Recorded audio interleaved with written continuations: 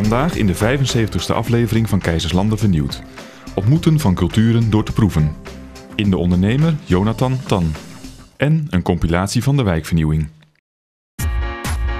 Vandaag de 75ste aflevering. Keizerslanden is van vele kanten bekeken.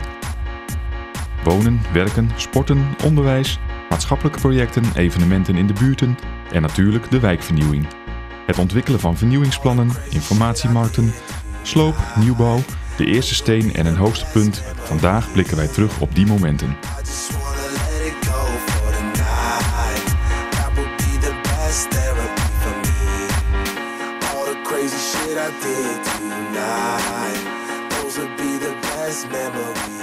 Om te beginnen met het dan nog te bouwen wijkvoorzieningencentrum aan het Wezenland. 28 januari 2009 is bekendgemaakt dat er groen licht is gegeven voor de bouw. Eind september is gestart met het bouwklaarmaken van het terrein. Het wijkvoorzieningscentrum die komt in de buurt eh, om eh, in ieder geval de kinderen uit de buurt en uit de wat wijdere omgeving, dus uh, Keizerslanden, Breed en Steenbrugge wat straks gaat komen, eh, om die een plek te bieden.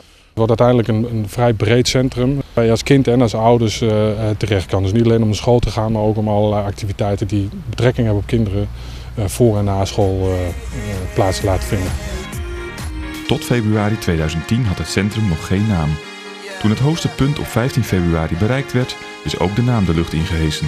Kei 13.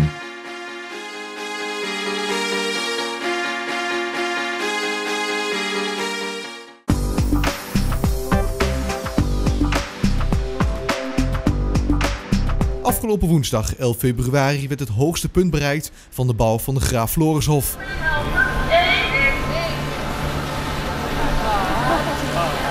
Na het gezamenlijk tot 11 optellen vanwege de 11 verdiepingen van het gebouw kwamen er abseilers naar beneden.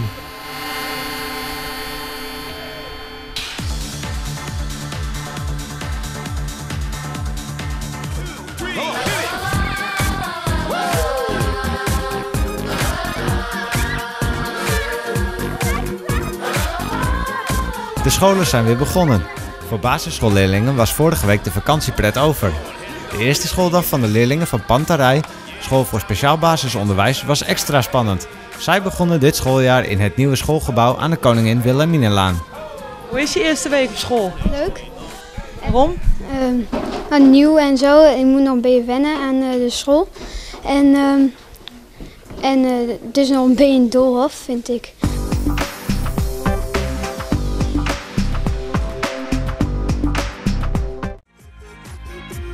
Juni 2009 is begonnen met het bouwklaarmaken van het toekomstige Tuindorp Zuid. Nutsvoorzieningen en rioleringen werden aangelegd. Half december is gestart met de bouw van fase 1, de appartementen en starterswoningen. Begin februari 2010 is de bouw echt feestelijk van start gegaan door het plaatsen van de eerste balk.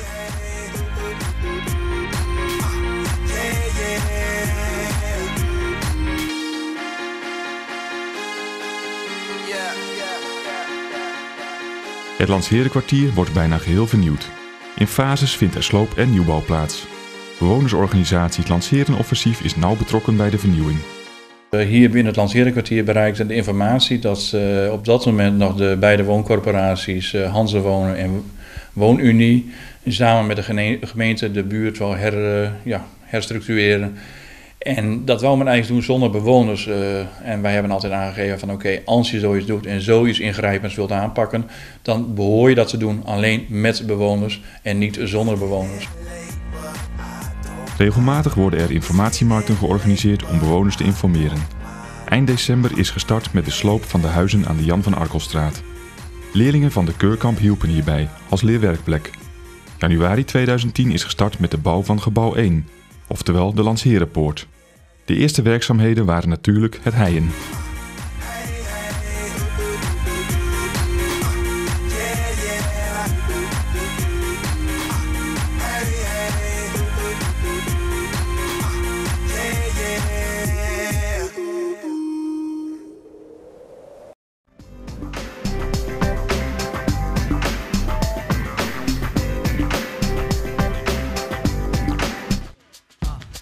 Deze keer in de ondernemer Jonathan Tan.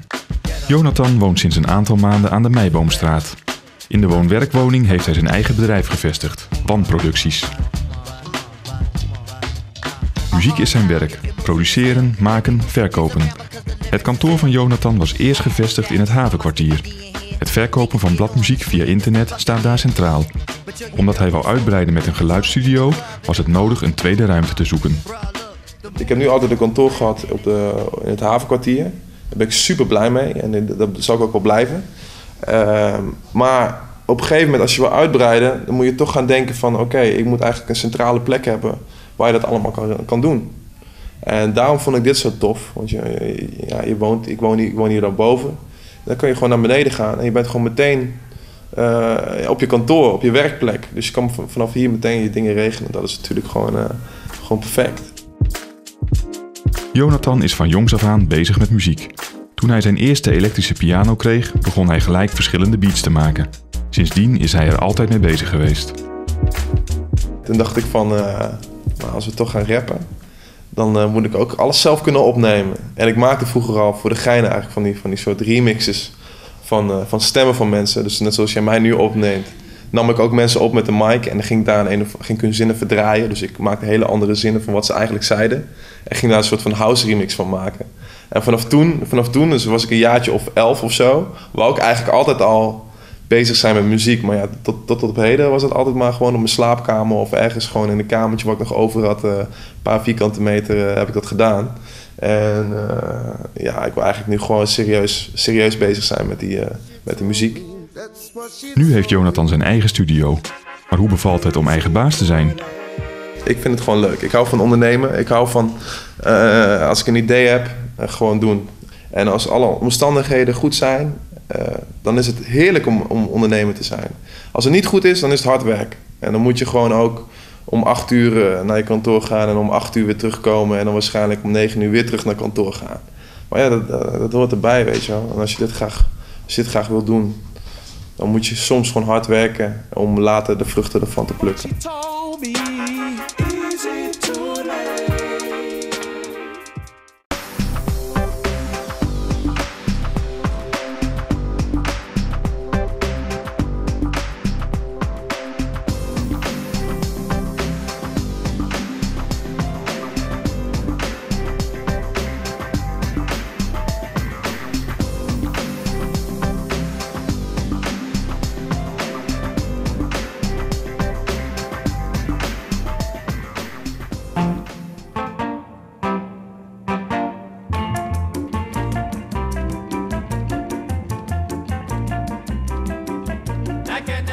28 april kon er een kijkje genomen worden in de keuken van de verschillende culturen in Keizerslanden.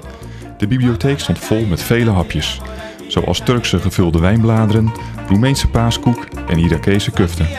Het hapjesfestijn is gehouden om de buurt dichter bij elkaar te brengen. Met name hier in wijk 4 zijn er, er is ook een onderzoek gedaan. Er bestaat 22 verschillende nationaliteiten. En vandaag hebben wij 12 soort uh, de nationaliteiten. De bewoners waren erg enthousiast om hun hapjes te laten proeven. De bezoekers kwamen niet alleen uit Keizerslanden. Mevrouw Savelkoel en mevrouw Beek kwamen helemaal uit Diepeveen om van de hapjes te genieten en de verschillende culturen beter te leren kennen. Heeft u al wat geproefd? Oh ja, alles al.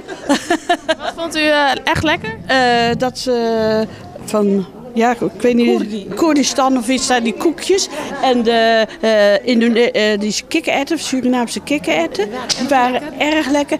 En dat uh, Iraakse kufte, die, die was ook heerlijk. Wat smaakt dat na? Nou, dat was uh, ja, een soort deeg. En dat met, uh, met rijst en gehakt en kruiden. Ja. Dat was erg lekker. Ja, ja, ja erg was, lekker. Ja. En ik vond de Turkse uh, wijnbladeren met gehakt vond ik ook erg lekker. Ja, heerlijk. Mevrouw Paramita komt oorspronkelijk uit Indonesië en had al vier verschillende hapjes gemaakt. Daar wilde ze ons natuurlijk wat meer over vertellen, maar ook hoe belangrijk het is om andere culturen beter te leren kennen. Onde-onde betekent dat um, ronde koekje die lacht is. Die lacht. Hè? Indonesia is een groter land, multicultureel ook. Bijvoorbeeld deze koekjes, deze hapjes, is beïnvloed door Chinese cultuur. Wij wonen in een stad waar met verschillende nationaliteiten zijn. En het is belangrijk om te leren kennen. Want onbekend is onbemind.